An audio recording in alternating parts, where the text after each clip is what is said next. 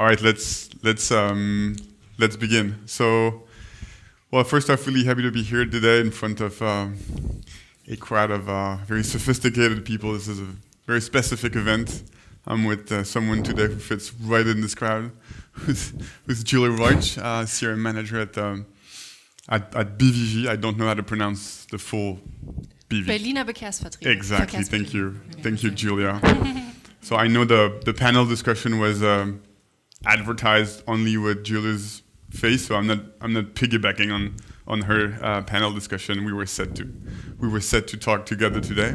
Uh, my name is Simon. I'm the I'm the CEO and one of the co-founders of uh, of Batch. Um, we are a, a customer engagement platform. Um, so for today we have uh, we have four uh, four topics for you guys. So quick introduction. Um, in Germany, no one knows about Batch, so I'm just going to say a few quick words about what we do. Uh, we'll introduce BVG, but I'm assuming more people here. Uh, maybe some of you have come using the the Jelbi app or one of the one of the BVG apps. Um, so we've been working with Julia and her team for like a year, year and a half. So lots of lots of challenges to get this project off the ground that we'll uh, talk with with Julia. Um, we'll talk about some of the growth results that the app has got since uh, it launched in 20, 2019. We'll showcase some of the CRM engagement tactics that um, we've been uh, we've put in place together with uh, the batch team and, and, Julia's team, and then um, we'll also talk about uh, some of the next steps we have for the for the project. BVG has uh, this specificity to you know operate um, on very long periods of time. That's one of the uh, I, I, would say differentiators of, of BVG as opposed to many mobility startups. BVG is, has been on the market for 94 years and it's probably here for uh, decades more, so different time scales. And we'll talk about what we have in stock uh, for, for, the, for the future. So just I'll, I'll just take one minute because again, uh, the feedback since this morning is that no one knows Batch, so I'm, I'm just going to make a quick introduction. introduction. We've been in the market for we've been in the market for seven years, but we we're roughly 100 people, French company based in Paris. We're a customer engagement platform, so we help um, cons large consumer brands orchestrate user personalized user experiences across push notification, email, uh, in-app messaging, um, and, and web push. Uh, so we've been around for seven years. We bootstrapped for a very long time. We only raised 20 million euros for the first time in the history of the company's life la last year. Uh, we operate in more than 20 countries. Uh, we deliver uh, north of 500 billion push messages per year for all our clients. Um, and we're investing heavily in, in Germany these days because uh, we have this very strong, what we call radical approach to data privacy. We host all of our users all of our client users data in, in France on physical servers. So nothing never leaves the, the EU, which is something that uh, resonated with, with Julia and his team. Uh, we work with 350 clients um, in the luxury, retail, media, finance, and mobility categories. Uh, in Germany, we work with brands like Welt, like DM, obviously BVG, the FC Bayern, and, uh, and, uh, and a few others. Um, and we bring a few what we call core differentiators to the market. Uh, we try to remain a very, very simple product. Uh, we live in a world where customer engagement and CRM products have become um, insanely, insanely complicated, and that complexity tends to dominate people that use those softwares, not the other way around. So we, our product team says no a lot. Uh, that's what they, that's what they say. Uh, we still bring very sophisticated platform, lots of uh, personalization options that we'll show you afterwards. We have this radical approach to data privacy, and, and ultimately we, we try to fit uh, deeply in the ecosystem. So in Germany, we're very happy to work with great partners like uh, Customlytics, for example. We integrate with 50 plus technology partners, CDPs, analytics. We're going to talk about Trafi. Trafi as the mobility as a service platform that BVG is using to run Jelbi. enough about batch. Um, I'm gonna hand it over to Julia, and then the rest will be just a conversation. Um, so maybe we have two slides here. A little bit about BVG. I'm I'm assuming some of you are familiar with, with what BVG is, but maybe for the others, quick reminder, and then we can tell you can tell us about Jelbi, and then we'll dive into the the challenges in the CRM strategy. Sure. Yeah. Thank you for the introduction. Uh, Sure. Yeah, like you said, hopefully you all came here with public transport. BVG is the public transport company for Berlin. Um, we currently um, have four apps, which is debatably maybe a bit too many, but there's a Fahrinfo app, there's a ticket app just as a very quick uh, and short way to buy tickets. Um, we recently launched the BVG Muva app, which is a ride sharing app for the eastern part of Berlin where there's not so many public transport options, so people can still be moving around. And then lastly, uh, Jelbi, like you said, was launched in 2019 as a MaaS platform, so mobility as a service platform. Um, which is the team that I'm uh, in, and it's uh, supposed to be the your one-stop shop for mobility in Berlin. So not just public transport, but also um, all the shared mobility that has recently um, popped up everywhere. So the bike sharing, the scooter sharing, car sharing, everything that you have, um, and all of those, or most providers that are on the Berlin market today, um, are deep integrated into Jelbi, so you only need the one app. You don't need the 10 different apps from every single provider. You just have your one BVG account. You add your payment method, and then you can find, book, and pay through that in Jelbi, which we think is is great. And uh, yeah, BVG, um, like we identify as like the heart of the city that keeps people moving. Hence the the heart logo that we have. And so obviously we welcome all other forms of transportation that people can share, and that uh, yeah lets people keep their personal car at home. Excellent. We should maybe we should have tried like you know by applause or by of raised hands. hands. Yeah. Who who's using in the who's who in the room is using a one-stop shop mobility mobility hub for inner city um, movements one two three. Oh well, that's a lot. Oh, that's cool. No, uh, do you want to? Should I ask who's using Jelbi in the? In, in, I mean, yeah, yeah. please. We have a f- oh wow, we have some we Jelbi users. Excellent, that's cool, great. And uh, yeah, I was having dinner with this guy Axel last night. So he was telling me like the one-stop shop, one central account payment is really, really convenient because uh, there's so many e-mops and e-scooters, and you can just one of the top features of the app you were telling me is the the uh, the, the the scanner, The right? You can you can just input your details once, and then you scan any e-mop service, and then you're and then you're good, to, to go. go. Yeah. Oh, excellent. So yeah, and also one of the very interesting bits you were telling me, but the what you're doing is that you know a Berlin app for Berliner, um, run by a, an institution that is not going um, anywhere, um, as opposed to, and I guess this is an interesting segue for the for the, the, the few challenges that we wanna we wanna discuss, but you know, the MaaS, the mobility as a service. So we're a French company, we're in Paris, but we we, we live the same experience, with, which is you know we nav on a daily basis we navigate a city that is littered with uh, dozens of different bike, e-mob, e-scooter sharing uh, services. So I guess the same the experience is the same uh, everywhere. But do, do you wanna do you wanna walk us through um, maybe the like the inception of, of the of the project and then maybe tell us about what you know what what what are the trends that have uh, marked this market over the past couple of years what, has changed and where is it at Yeah. where is it at today Yeah, I'd love to. Um, so we started out in uh, in 2019 with Trafi, which is our development partner um, from Lithuania, and uh, we got a very um, yeah advantageous um, or beneficial uh, press review by, by Forbes that called us the new uh, the new Amazon for transportation, at least for Berlin, because we're on a local market. That was very exciting. Um, as you can see, there's a lot of uh, mobility service providers in Berlin. Um, that should be about all. There's already been some consolidation, right? Um, we share went to Miles. Bird actually now left the market. Um, Tier bought Nextbike. So there's a bunch of stuff happening. And if you had one of those apps, now you probably won't use it anymore. If you had Jelbi, you could just stay and switch to a different different provider. It's very easy. Um, and we have, except for on demand, we currently don't offer um, right now, but all the other transports you can buy in uh, in Yelby. And uh, yeah, that's our, the idea is to get everyone in eventually. noting that you have the unfair advantage of being the only one able to sell Public transport tickets, yeah, correct, yeah. so that's the main advantage one of the main perks of using uh, of using Jelbi Yeah. So yeah, so navigating a pretty a pretty complex uh, pretty complex market, and also well, you know, by race end that was interesting. But you were also telling me about you know, the many challenges of uh, evangelizing what you guys call multi multimodal transportation.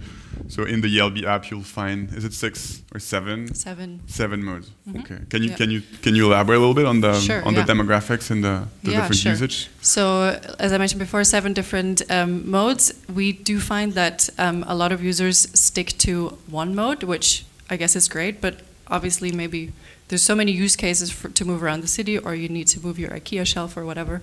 Um, so, we, we do want to encourage users to try out different modes.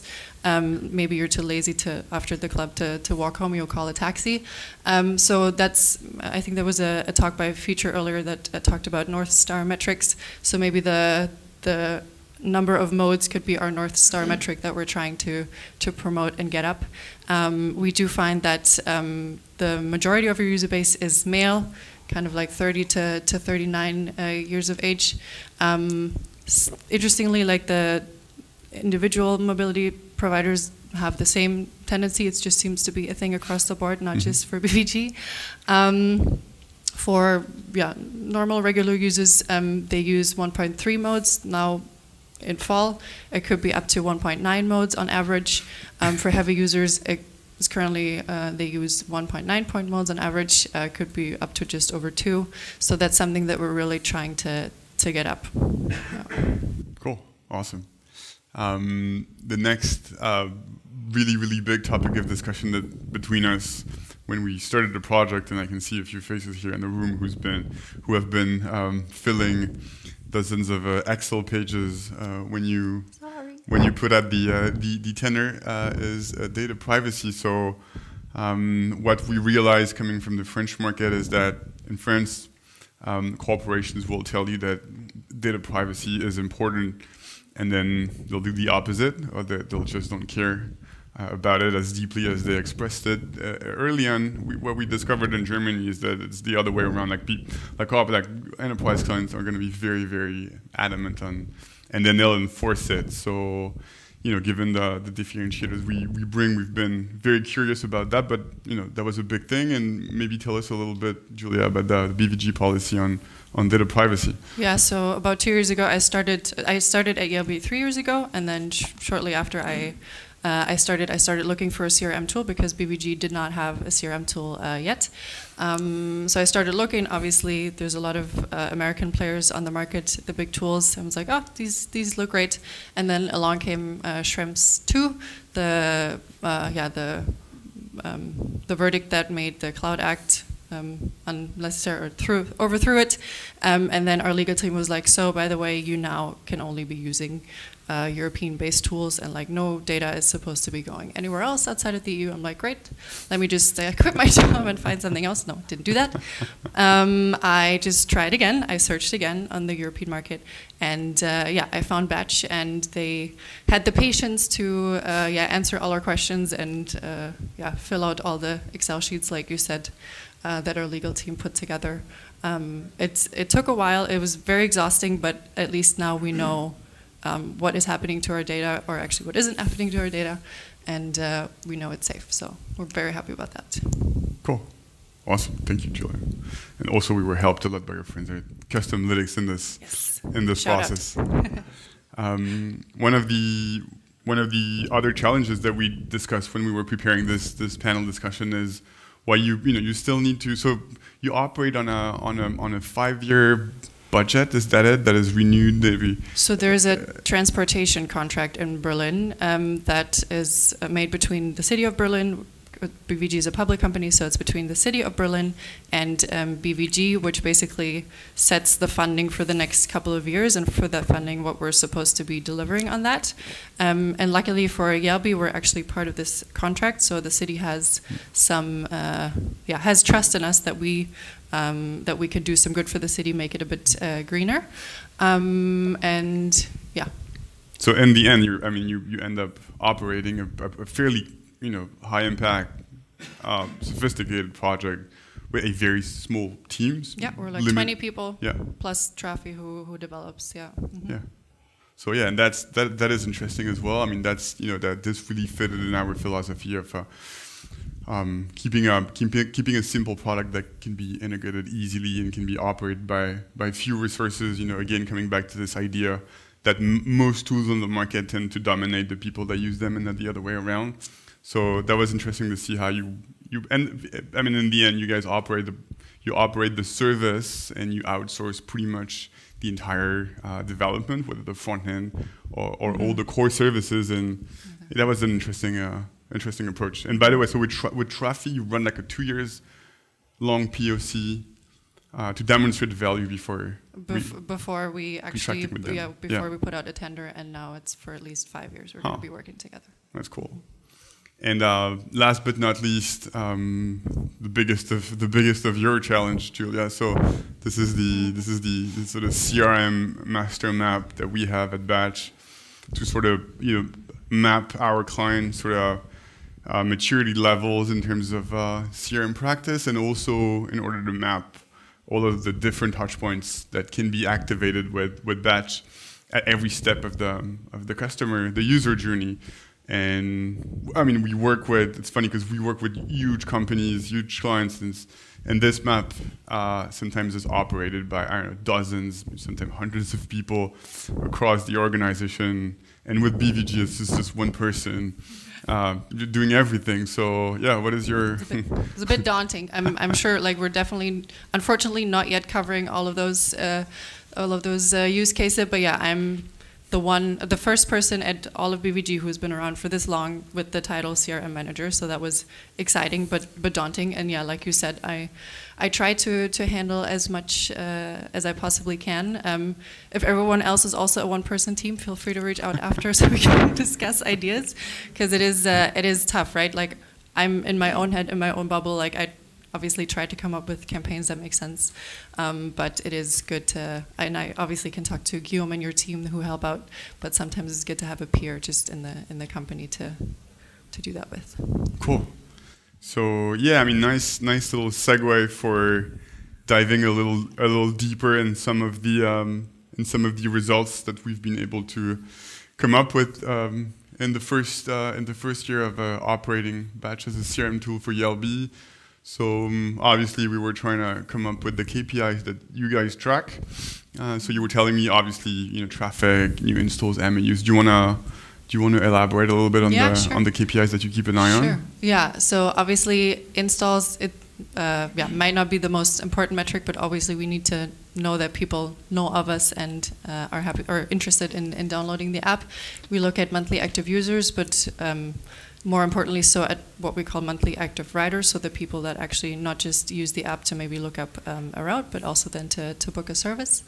Um, we were also interested in the how like how long it takes people to convert. Like the first micro conversion would be a payment added because um, with my like activation uh, campaigns that I'm running, as we'll see later on, that's obviously something that is interesting to me. So right now, that's about it, like people do it usually within the same day. Um, the time to first ride uh, from install, that's about like two two to three days. Um, and then uh, the multimodal ratio, as I was uh, mentioning before, like how many modes does a user uh, does a user use on average? Yeah. Cool. And so in terms of uh, in terms of uh, MAU growth and, and, messaging activity. So we, yeah, I think we started a year and a half ago, starting with the messaging activity like a year ago roughly. So some some pretty cool results. So obviously, you know, challenges of um, getting an app uh, started from the from the ground up, uh, but interesting to see those um, those results. Um, we also look so so these are the the Jelbi KPIs. I, I would say um, these are the most sort of standard uh, standard um, uh, CRM KPIs that we that we look at. This is a quick snapshot of the batch of the batch interface for a campaign that was delivered. So this one, I think, well, the sorry, the the rendering is pretty shitty, but I think it was the one you guys sent uh, when the bird service was uh, discontinued, like pretty much overnight. Two days ago, yeah. yeah. yeah. Yeah, it was not our uh, decision, but they tried to leave the German and the European market because there's just too much competition on the on the kick scooter market, right? So it's sad for, for us and the users, but yeah, obviously we, we have to tell them. And it's a good sort of illustration of, of you know some of some other differentiators we bring, which are around you know, real time, the ability to uh, react really, really quickly when you when you run a mobile uh, mobile first service for mobility purposes. You know, when something that sudden happen, it, it really discontinues the, the the quality of the service you bring, and you need to be able to launch a push notification or in-app messaging campaign in, in a few minutes. Otherwise, you'll start seeing uh, you know user complaints yeah. uh, come in pretty much instantly, right? So yeah, it was it was supposed to be not sudden, and then we checked the app and they were gone, and yeah. then like, oh, I'm going to reschedule this push for right now. Yeah. Ah, cool. Um, so yeah, a couple KPIs about you know, the the number of um, what we call opt-in users, the people that have given permission to be reached out to through push notification, the MAUs, and the average opt-in rate. So you guys probably know that opt-in rates vary a lot uh, between iOS and Android, um, specifically because Android has an like opt-in per default uh, mechan me mechanism where iOS requests uh, permission, but um, we've ran a very long blog post on the new Android 13 update, which is going to change Big this change, and will yeah. bring um, Android and iOS on par in terms of uh, um, uh, collecting user consent. So this is gonna this is gonna change in the in the coming month. Um, and then maybe uh, for the for the for the for the end of the second part, we want to dive a little deeper in some of the use cases. So our approach when we start working with clients, and when we want to map their use cases in the sort of pre uh, pre-sales um, pro project setup phase, is we, we use this as a CRM manager I want to methodology, uh, and which then we translate in data that will be that we will tag uh, and that will come up on the platform so that you can use it for targeting and uh, personalization purposes. So um, yeah, Julia, if you want to maybe walk us through a few simple but effective use cases that you've been able to implement. Yeah, probably the most like no-brainer one is is welcoming new users, which I'm sure you all uh, do. So after they've installed the app, I will uh, try to get them an hour later by welcoming them and getting them to uh, register an account or just log in with their BVG account that they might already have from a subscription uh, or from the other app. Um, and if they don't, uh, yeah, and if they haven't done it three days later, I will uh, yeah, nag them again, um, and five five days later as well. Unfortunately, we don't really have uh, incentives right now, which would probably make this a bit more effective also in the in the rest of the user journey. But we're working on that for next year. Cool.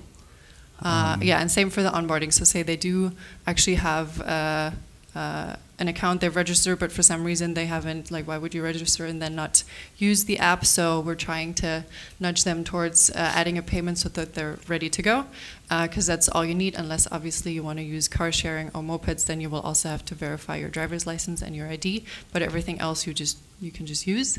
Um, and then obviously uh, trying to get them to the first ride, to the first like big happy moment that will then hopefully keep them coming back. And of course, Batch allows you to set cancellation events. So if, if the user happens to do it within the time frame that I've given, then he's not going to get that message. Mm -hmm. um, and then other general retention campaigns, we we did have a form, or we yeah do have a form of vouchers this year, but it was mainly just handing it out. There's no like digital process yet. Welcome to BVG. Everything takes a bit longer.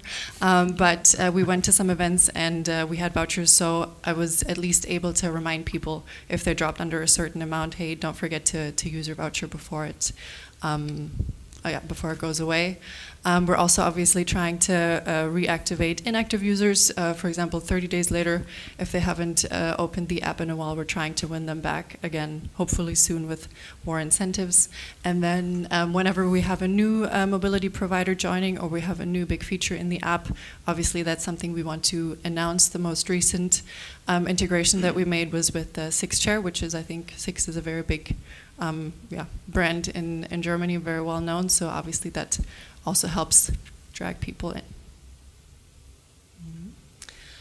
Um, yeah, maybe more personalized. Um, I'm not sure how many of you live in Germany and uh, yeah benefited from the nine euro ticket. That was uh, a cool thing we had this summer. Where like for from August uh, August, September, July, you could, oh no, June, July, August, whatever, for three months you could use public transport in Germany for free, all, like all across Germany, just for nine euros.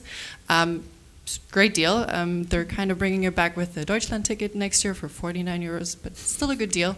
Um, so obviously we promoted that, and um, for the people, I, I tried to use different messaging for the people that already had bought tickets before, and the people that were purely using shared mobility again to get that multimodal rate up. Um, also, um, depending on the seasonality, um, in summer you're more likely to use a scooter than I guess right now in winter when you're just freezing your hands up standing on it.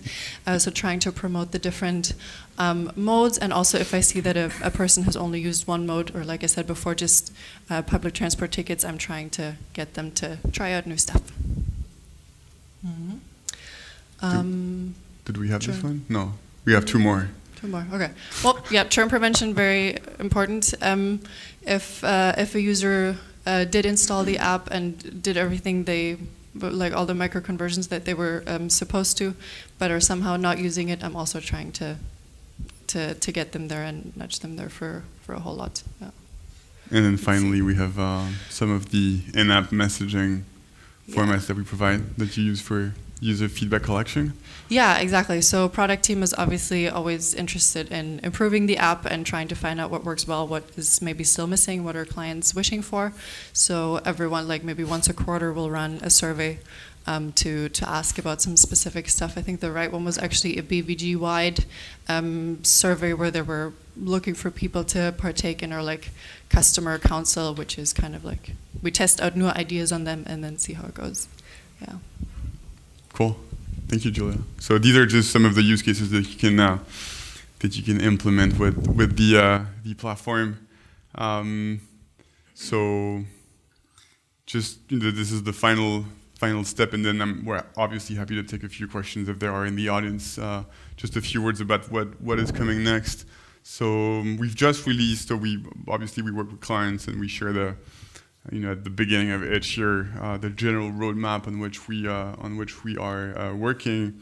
The story of Batch is that we started as a very simple product delivering push notifications at scale, and then we evolved into a, a complete sort of omni-channel CRM CRM system, leveraging the live data we were getting from our uh, different web and mobile SDKs um, and at the core of the big roadmap we have for this this year is something I'm incredibly incredibly excited about, which is a little counterintuitive because you know email marketing has been around for 30 years, so it's not the most crazy innovative thing, but it's been the top requested feature uh, by our client for, uh, for the last I don't know seven seven years, and so we we took this year 22 to uh, release our email marketing uh, event-based e email marketing solution plugged into the, the batch platform. Uh, and that is now enabling um, an, an increased amount of more, more sophisticated uh, omni-channel use, use cases because obviously in the Jelbi app, while users will, will log in and they'll also leave their email. And uh, this is going to be uh, enabling lots of uh, lots of different use cases across different channels. And the idea is obviously to be able to communicate with well, you know, mobile mobile app users, but not just on mobile because they can be obviously on mobile, but there there might be moments of the day where it's easy to reach them in their inbox, for example. So we've we brought this year a new new Canvas product that lets our clients create user journeys and um, run scenarios such as you know I'll be based on any specific event, I will send a push notification if it if it's not opened in X amount of time. If I have an email and an email permission, then I can follow up with the with an email, and this enables. Um, I mean, um, you with this you can maximize how you communicate with with users, and you can keep boosting your your KPIs and all of the use cases we covered. Well, you you you can now do do with Batch across uh, this very very old but also very very efficient channel that is uh, that is email. So all of this we will be working um, over Q1 with Julia and her team to implement. So keep an eye if you're if you're a Jelbi user, keep an eye out and and please opt in for for email yeah. for email communication. Yeah. Um, so yeah, I mean that was uh, that's about it. I think we uh, we used a good 30 minutes. So uh, thank you everyone. Thank you for your attention for thank being you. here yeah. today. Thank you.